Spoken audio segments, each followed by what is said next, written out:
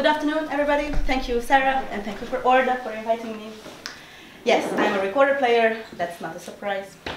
Uh, next to recorder, I also play EWI. That's an electronic wind instrument, and I also make music theater, a lot with improvisation, with jazz musicians and uh, dancers, and I also compose and arrange music. So for me, improvisation is almost a career choice, and uh, that's also why it's really important to me, the subject, as well as in teaching. Um, today, I'm going to talk to you about a couple of things. I will tell a little story of why I became interested in teaching improvisation or implementing improvisation in my teaching practice. Um, I also designed a course material related to this teaching improvisation for kids. I will walk you through a couple of examples from that. Then I would like to take a moment to talk about why improvisation can be really important and essential um, uh, really for, um, for the next generation. And um, as a closing, I will just uh, bring up a couple of professional examples, people who are improvising um, on the recorder. And just to make it clear in advance, when I say improvisation, for, um, I'm going to focus specifically on free improvisation, atonal improvisation, as uh, the keynote speaker says, genre-free improvisation. So uh, my turf is not going to be related to early music, but just to give you a context. So that's how you should understand what I'm talking about. So uh, the story for me starts uh, around 12 years ago when I was still in high school, but I was preparing to enter the conservatory, this conservatory, in fact. And, um, but I, I, got an opportunity to replace one of my former, former teachers uh, at the music school. And I had zero experience, of course. And I was really excited to, to take over her teaching uh, for the afternoon. So I went there and I entered the room. And the first student arrived. She put the score, she put the instrument together. She was about to start playing, but um, but I just wanted to set her at ease. So I, I asked her, oh, before you start, can you just please play something? And she looked at me, but what? and uh, that was for me really traumatic, as well as it was for her, I guess. and yeah, so that, that really got me thinking, why is it that, um, that so often kids are not daring to play just something? We educate them very often to play what's in the score. You learn fingering, you learn what that looks like on this really abstract sheet of paper, and, and you start mapping out your knowledge base on that. So I thought, how could, how could I come up with some methods, some ideas to, to break away from that? And then later on when I entered conservatory here, uh, I based my methodic subject, which was a two years research, um, teaching improvisation for groups, and I was lucky enough to get the chance to, to teach this at a summer course in Hungary, and I also did this a couple of times in, uh, in here in Amsterdam. So it's, a, it's tried out. and, um, and so I will show you now a couple of examples from that. Um, also a little more context. So I meant it for mixed instrumentalists, although it's of course possible only on the recorder, but I think you get to much more exciting musical results if you can get children with different instruments into the room. And also these exercises are, they do require some prior musical knowledge, so I designed it and meant it for, let's say, if you have played your instrument already for two, three years, and you have a little bit of something going, let's say from the age of 10 and upwards. So, the first exercise. Oh yeah, uh, something in addition. These things are for me, kind of in between steps. Uh, these are meant to break these boundaries. For example, when it comes to score, or when it comes to a conductor, or, or other types of fears. Um, but what I think ultimately can come out of it is really free improvisation. When, when you have gone through a couple of exercises and you experience some different things, and, and these are all just in between, these is part of the process. Not that there needs to be a specific result, but that these are, these are just part of a larger story. So, um, this uh, exercise directly deals with uh, how to get away from the score. Um, I took inspiration from a book, uh, which is uh, for visual education, in fact, and there a um, professor from Hungary uh, talks about breaking down drawing or painting into three really simple building blocks. That is dot and patch and line. Oh, the whiteboard is far away, but I can. so, um, so we can get the uh, kids together on a big sheet of paper in the middle. And let's just start drawing, but only these three uh, really simple elements. Like draw some dots, some patches, some lines, and then let's see how can we interpret this on our instruments. So could you play um, a dot-like note on your instrument? How would that sound like? Or what is a line on your instrument, etc., etc. And where it gets um, exciting, or even more exciting, is when, um, when we start looking at these elements, also how they relate, relate to each other. For example, if I start drawing a bunch of dots, but that ultimately forms a line, where, where do these boundaries lie? Or this patch, it's also a bunch of lines actually, but they also form something else. So all this discussion can occur around the table with the kids, and these are two paintings, sorry, drawings, uh, that, uh, that some of the kids made in uh, one of these courses. And, uh, and then we just interpret it on our instruments. And uh, where it also gets uh, even, even, even more exciting is um, to separate the group into two parts, for example, and then both groups make their own score. They come up with an interpretation. We can perform it for each other.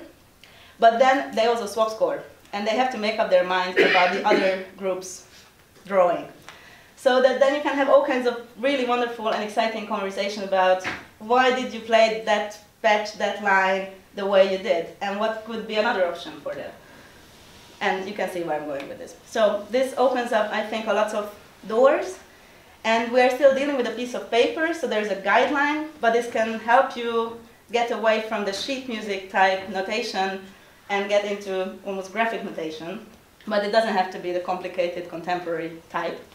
Once again, this is for this age group. Uh, you can go more crazy when you have a bit older kids or that are more advanced on their instruments. It can also be that you involve examples of graphic notation of modern pieces that you can still break away from the just a normal uh, violin key, etc., etc. This was one thing. Oh, I'm doing pretty good on time so far. the next one is about conductor.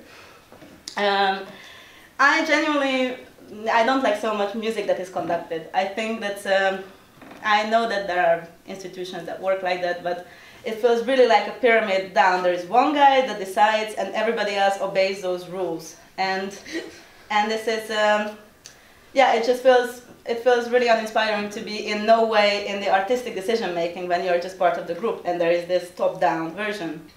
And I can imagine that sometimes for children that can be also a bit where there is the, uh, the conductor in the children's group will always be a teacher or somebody older and somebody with authority, but could you maybe, you know, could we not swap these roles? Could we not break out of it?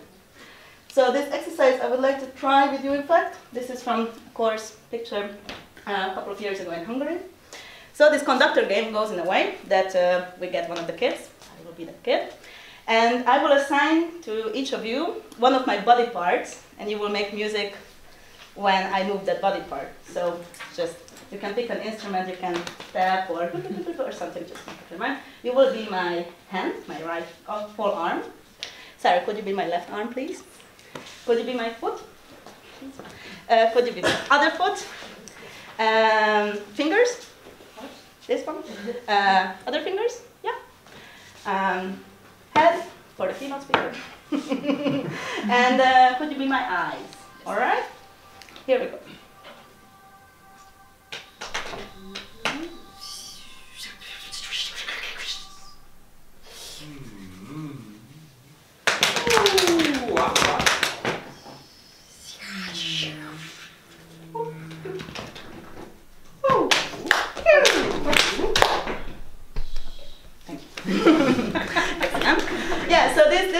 Fun game. Of course, also it has to do a little bit with physicality that always comes in handy when you have a longer lesson and the kids are just going nuts.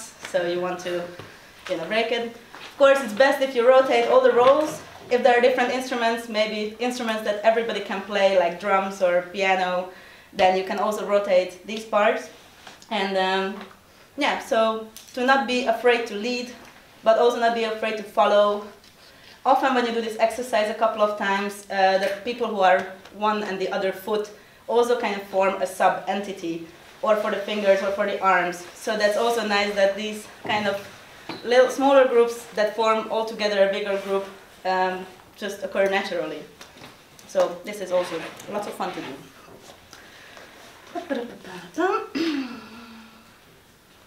yeah. Uh, I heard uh, the, in the speaker in the talks of uh, the speakers before me today that there was a lot of mention of game and playing. I said now exercise, and um, of course these are all valid terms, and anyway these are free for interpretation. But I thought that maybe play is even better of a word than game, and here is why. Because in a game, if you think about a game like a sports game or a board game, then you can have you always have a set of rules. But in a play, you can just freely, free, freely explore. Or in a game, there is often focus on the result, who wins, for example, or what happens. And in a play, you're focusing on the process. In a game, you often have winners and losers, as I just said. But if you're playing, there is no such thing, in fact. In a game, now this is a sports term, that there is somebody, referee, a conductor, or etc., etc. But in a play, rules can be invented by all players, which of course is something that was mentioned also cross, that we play a game where the rules are invented by all players. So of course, this is not a white, black and white thing, I'm trying to say. But it's good to, good to think about all of these different elements and how we treat them and what we expect from the kids also. And I think, yeah, this expectation is by itself already something um, quite crucial. Why do we have to expect something, especially in free improv? Um, yeah, there is no right or wrong. There is no failure as such thing. Of course, you have to get there, and that's uh, why I was saying all the all these examples. And um, uh, yes, I have uh, some more exercises in this method book that I designed. So when we are sharing videos and uh, contacts, I'm happy to give you some more uh, information about that if you're interested. Let's explain in more detail. And um, for me, the crucial part about all of this is basically what do we want from the next generation? I think we want them to have critical thinking, not to just accept whatever comes their way. We want to develop creativity, spontaneity, freedom of expression. Uh, to function well in a group, you have to be able to communicate and share feelings with the others. I find improvisation as such has a strong emphasis on choice, and I would even like to go as far as saying that this is incredibly important right now if you think about the political climate that we are in. So many things happen where people made a choice not really knowing what the choice that they made, and that has severe political effects which affect all of our lives. And, um, and I think, and also if you think about the environment, that a lot of people walk into a supermarket and just they take whatever they saw on the television. You don't want that. We, I don't think we want that. What we want is people who make actual conscious choices and, uh, and can decide for themselves and think like that. And through improvisation, I really, really think that we can encourage that type of mental capacity, that kind of behavior for the next generation. Yeah, I know. This was the emotional ending of my Yeah. Um, great. Last but not least, um, yeah, I think it would be a great shame, which also happens sometimes, that um, that a kid maybe plays a recorder and would like to do a bit more with that, but then but then he or she feels like that the recorder is not really an instrument where he can improvise, and maybe he picks up a clarinet because there he can go to jazz or something cool or saxophone, whatever. Um, but I think that's that's also partially due to the fact because maybe as a recorder community we don't uh, look enough into examples that are actually there in the field of improvised music, but there's also not that many, but there are some.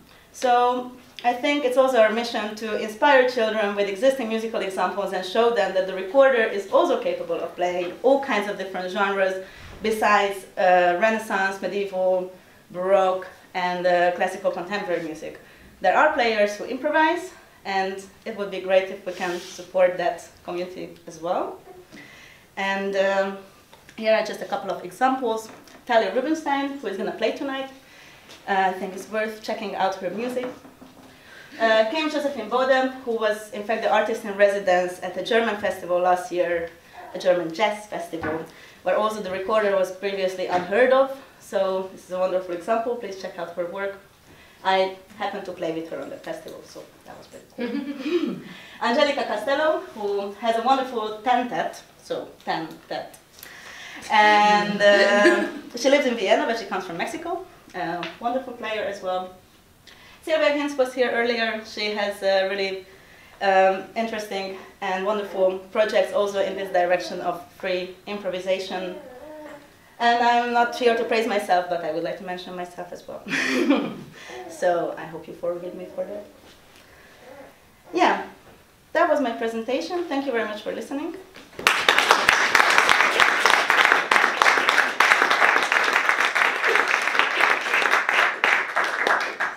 Does anybody have any questions?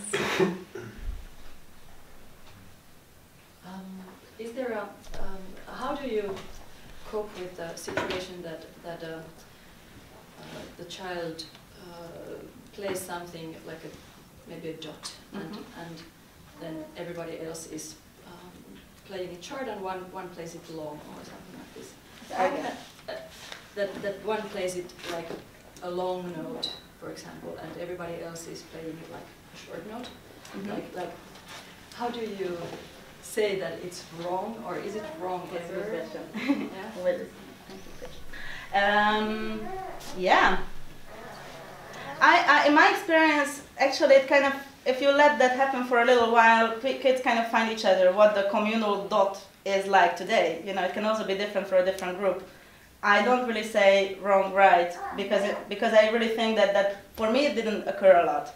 If I said, okay, let's play dot dot dot, everybody starts playing dot, and of course there are different sizes, so to say, but sooner or later the group tends to agree on one way of playing that. So every, you know, kind of a naturally occurring compromise. And um, yeah, that, that's pretty much my answer. I have a question. How does the recorder fit into the wider free improvisation scene, like with other instruments? Yeah. Is it accepted or? It's a bit difficult in my experience because you know recorder has already um, quite a dif- difficult role inside the classical music. If you talk, think about the total of classical music, we're still fighting for our existence. Uh, in the jazz, it's, uh, jazz world, it's even more weird because um, yeah, it doesn't have a, a historical background. But at the same time, it's also really free because it's like, oh, just another instrument, a color that we have never heard. Uh, why not? Uh, so I face these two um, situations most of the time. Um, also, uh, wait, I had I had something important to say. um, yeah, the only uh, thing where it gets a bit tricky is uh, is amplification, to be honest, because a lot of the times uh, um, free improv that develops from the field of jazz is loud instruments, often with a drum set. So volume is something that you that I find myself often to fight for, or really open a conversation about, hey guys, I know it's weird, but I have this instrument and this is my acoustic limit. So if you want to play with me, deal with it, please.